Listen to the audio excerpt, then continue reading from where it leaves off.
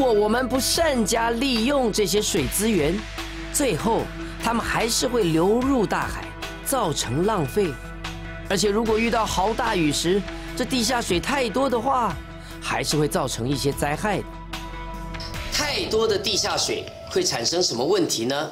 来，我们做个简单的实验。这边有一个透明的玻璃箱子，我们在里头呢倒进些许的水。现在我们把水倒到这个透明的玻璃箱子里头。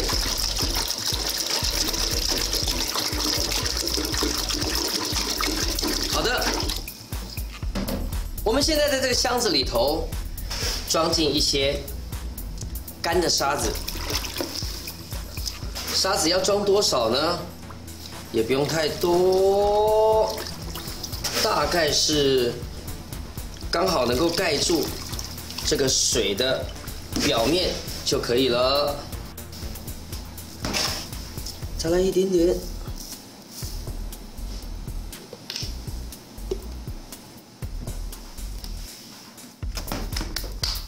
OK 了，现在我们用肉眼。从上往下看，当然只看到干干的沙子，我们不知道它里头含有多少的水分。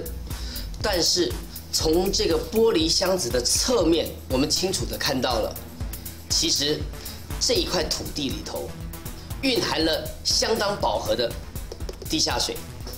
OK，我们现在试的在这块土地上盖房子，假设我们住在这个地方。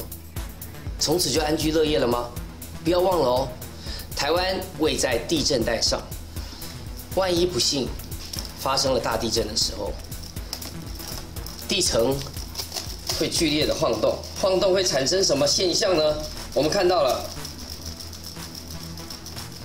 悲剧发生了，土壤瞬间异化，然后造成了地面的陷落，房屋的崩塌。淹在水中了，有没有看到？日本的三一一大地震，就是因为土壤异化，造成了相当严重的灾害。啊，这个地层下陷都都变安尼类啊，都已经是碗，低海边碗的啦。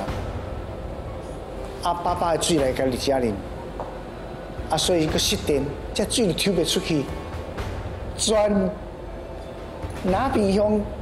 甲家当乡哦，啊浸一个月啦，浸一个月啦，啊进一个月内底，毋是拢纯粹水呢，个六个米啊，哇，拖泥带水，千美丽啦，哦，啊，根本的原因就是因为我们地层下陷。